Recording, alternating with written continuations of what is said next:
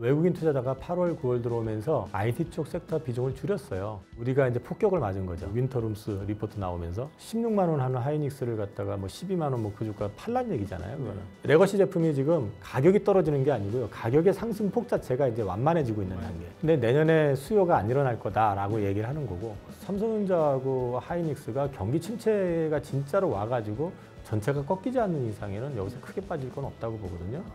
근데 이제 문제는 이런 분위기가 형성이 됐을 때 다시 움직일 것 같아요. 그래서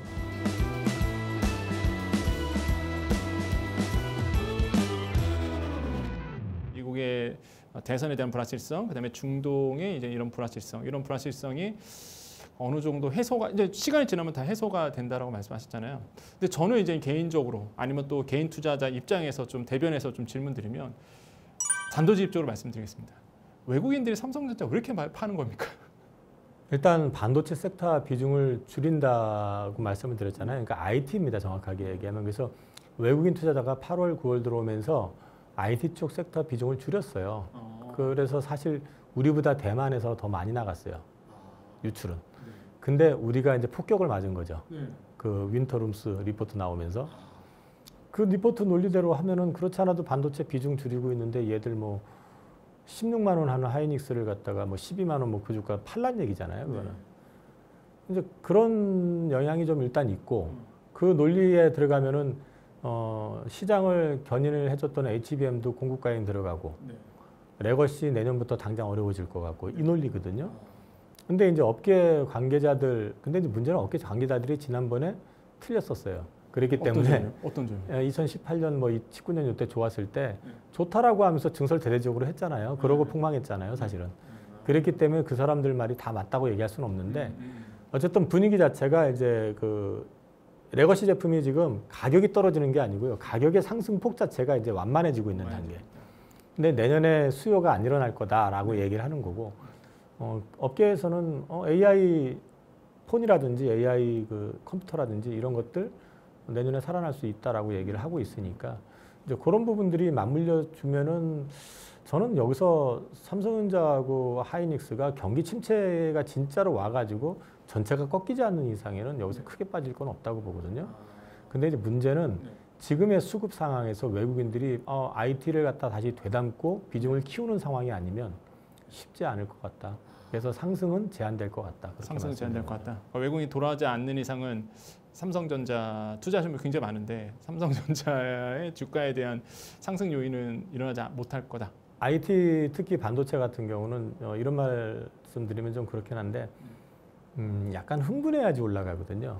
좋아져. 아, 아 예. 그죠? 예. 딱 봐도 저부 저 저기 IT 반도체 같은 경우 계속 적자 났었는데 갑자기 HBM 딱 등장하면서 하이닉스 그 회사가 갑자기 뭐 이익률이 확 그러니까 하이닉스가 8만 원에서 26만 원까지 이렇게 급등을 했었던 거잖아요. 근데 지금은 그럴 만한 동인이 별로 안 보이잖아요. 다 안 좋다고만 자꾸 얘기를 하고 좋다고 얘기하는 것도 어, 안 좋아질 것 같긴 하지만 그 정도는 아니야지. 웃기지만 좋아져 이건 아니거든요. 지금. 네네네. 그러다 보니까 이제 투자하는 데 있어서 메리트가 아주 세진 않은 거잖아요. 그러니까 이제 이쪽으로 돈이 당장에 급하게 들어오진 않을 것 같다. 이거는 좀 시간 지나면서 HBM shortage잖아 라는 걸 갖다 확인을 시켜준다든지 레거시가 괜찮은데 왜 그래 이런 분위기가 형성이 됐을 때 다시 움직일 것 같아요. 그래서 어, 수익률 게임에서는 반도체 쪽이 그렇게 재미있을 것 같지는 않습니다. 아, 10월 달에 네, 10월 달도. 이번 연도 말까지 그거는 앞서 말씀드렸지만 저는 어, 이제 지금 연준에서 네. 금리 인하를 big cut을 했잖아요. 네. 지금 또 big cut 가능성이 50% 네. 넘어섰어요. 그럼 경기 침체거든요, 사실은요. 맞죠, 네, 맞아요. 저는 그리고 그 연준이 금리 인하 이렇게 하는 거 보- 하는 와중에 네.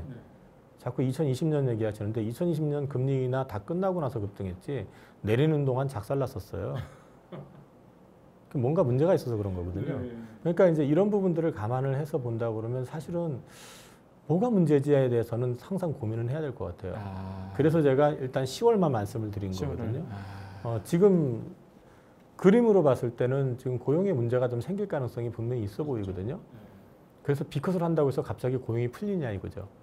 그리고 어, 이것도 생각하셔야 되는 게 10월 달에 돈을 많이 풀고 막 이러면은 10월 달은 잠깐 그 마취수사 맞고 이렇게 몽롱한 상태에서 이런 걸 수는 있어요. 음. 근데 그게 풀려버리면 아, 그러니까 이제 그런 것도 좀 있기 때문에 제가 올, 올 연말 내년 들어가는 것들은 조금 뒤에 보자. 일단 10월은 10월은? 괜찮을 것 같다. 10월은 괜찮다. 네네. 아.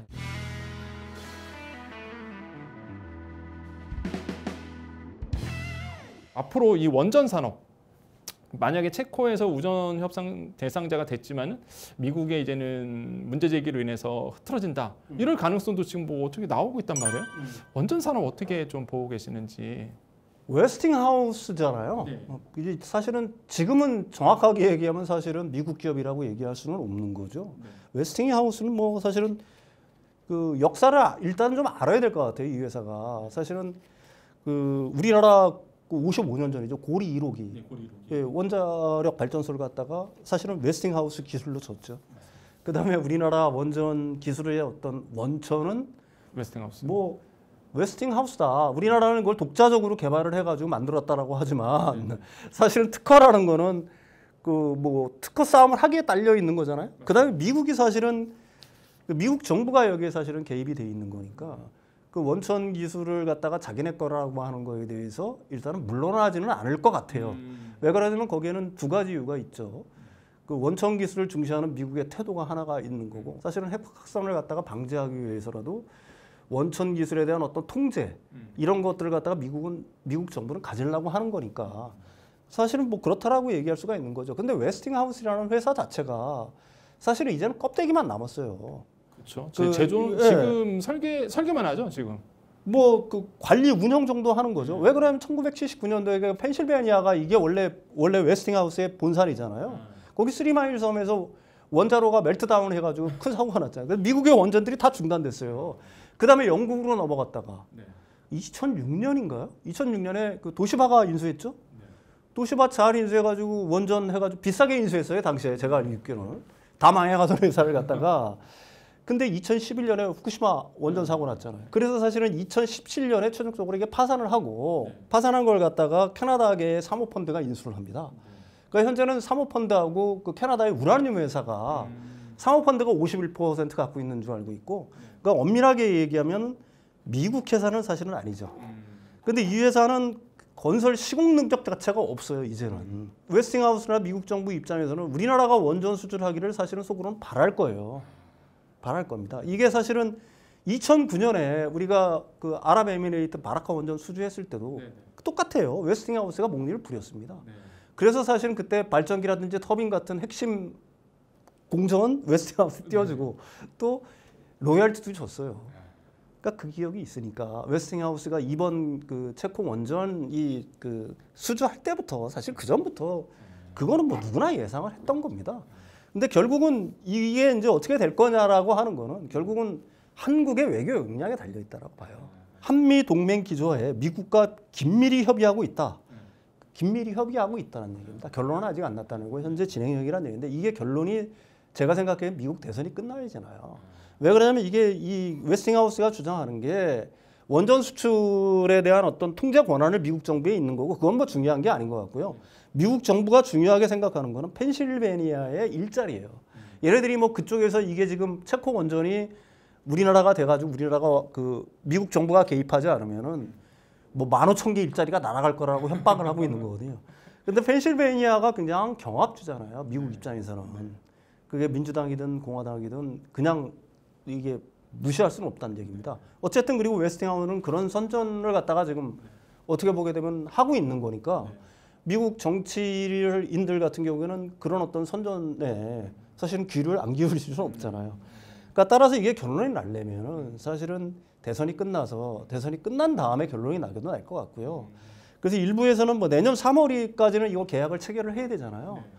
제가 생각하기에는 이것도 뭐 희망적이기는 해요.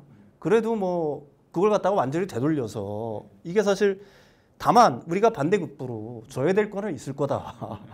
그 결국은 협상이라는 건 미국 정부의 협상은 우리가 가능하면 얼마나 덜 주고 바라카 원전 때처럼 뭐 로얄티도 주고 발전기 터빈 같은 것도 다 넘기고 하는 거는 진짜 재주는 공이 부르고 뭐, 뭐 돈은 누가 갖는다고 그런 똑같은 일이 될 가능성도 있으니까 결국은 우리나라 외교 역량, 우리나라 정부의 외교 역량에 이 문제는 달려 있다. 자 오늘 전해드린 정보 잘 참고하셔 갖고요 성공적인 투자하시길 바라겠습니다. 오늘 말씀 감사합니다.